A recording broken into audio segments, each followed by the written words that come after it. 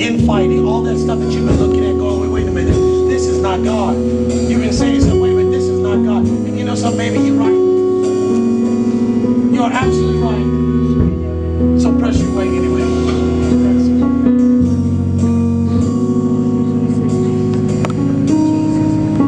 Where do I know you from, John? Have I seen you before?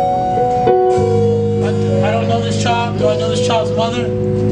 My God Almighty, I tell you, I've seen this child before.